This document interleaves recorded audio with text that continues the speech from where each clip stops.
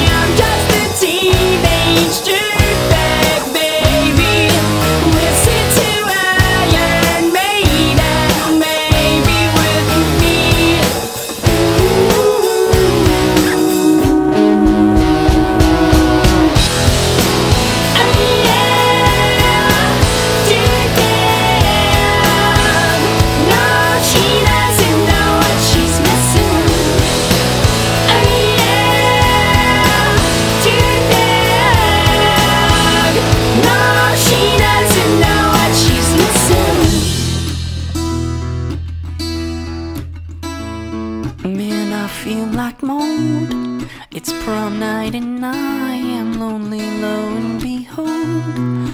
She's walking over to me, this must be fake. My lip starts to shake. How does she know who I am?